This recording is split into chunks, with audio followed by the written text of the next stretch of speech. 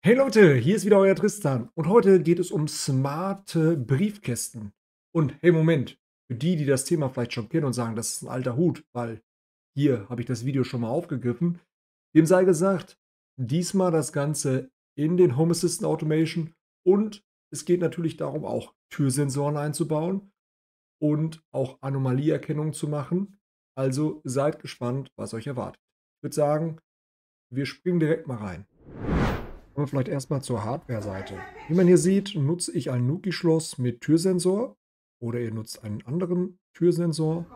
Und dann hier die Besonderheit, ich habe einen weiteren Akara-Türsensor hier an meiner Klappe festgemacht. Das hat folgenden Vorteil, dass ich eben gerade bei so einem metallischen Gehäuse ein sehr gutes Funksignal habe und obwohl der Sensor jetzt seit mittlerweile drei Jahren dort hängt und ich erst einmal die Batterie tauschen musste, es wirklich wunderbar funktioniert, sehr, sehr zuverlässig.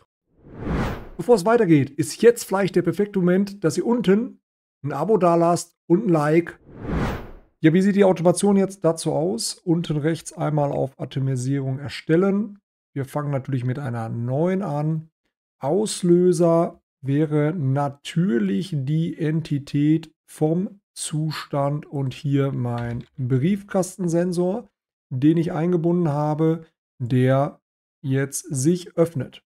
Und anschließend geht ihr auf Dann mache Aktion hinzufügen über den Benachrichtigungsdienst, zum Beispiel WhatsApp oder übers iPhone oder Alexa. Ich schicke mir das Ganze jetzt mal hier über die Home Assistant Companion App auf mein iPhone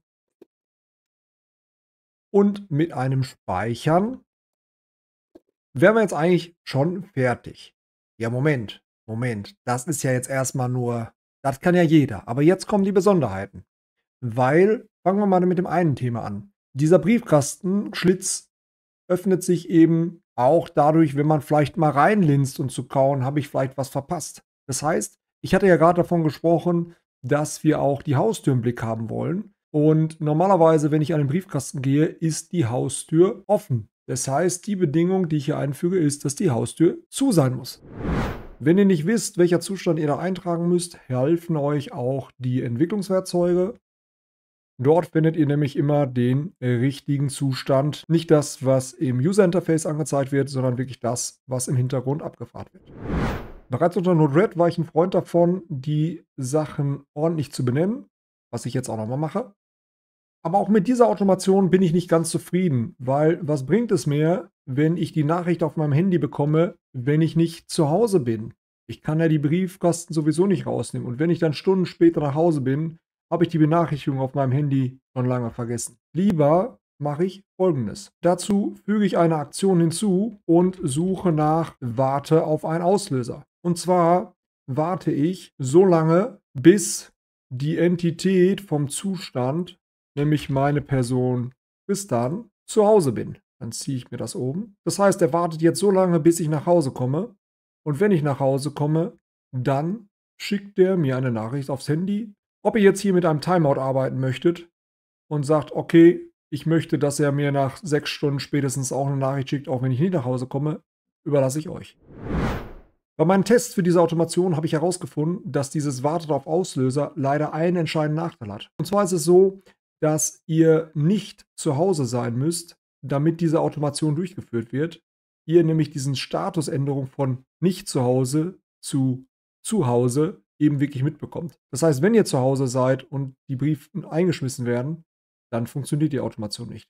Besser ist deswegen, Folgendes zu machen. Wir löschen nochmal diesen Auslöser, und fügen eine Aktion dazu, auch hier wieder Warte. Und diesmal nutzen wir ein Warte auf Template und tragen hier ein, wenn der Status der Person Home ist.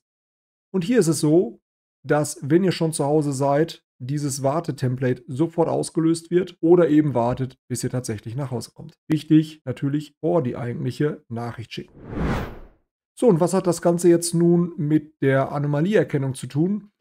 Wir haben öfter mal Briefträger, die ein, zwei Briefe reinschmeißen, dabei ein paar Sekunden brauchen, bis sie den zweiten Brief einschmeißen. Und dann würde diese Automation zweimal getriggert werden und ich kriege zweimal die Benachrichtigung hintereinander, Achtung, Briefkasten ist da. Dazu mache ich mir jetzt eine Eigenheit der Home Assistant Automation zuständig und dazu muss ich mich mit den Automation Modes ein bisschen beschäftigen. Die Automation Modes laufen nämlich in verschiedenen Modes ab. Und was wir hier suchen ist der Single Modus, der auch tatsächlich standardmäßig eingestellt ist.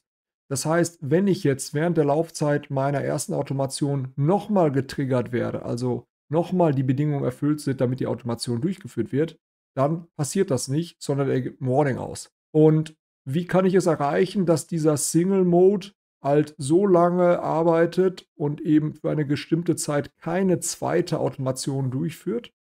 Naja, ganz einfach.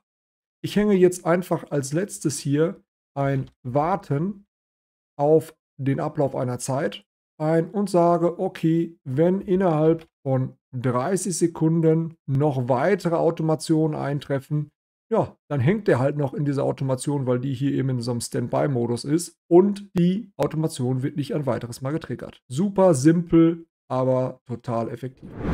Kurz und knackig, das soll es heute gewesen sein.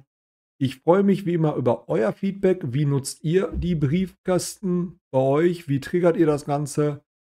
Und ansonsten sage ich bis bald, euer Tristan.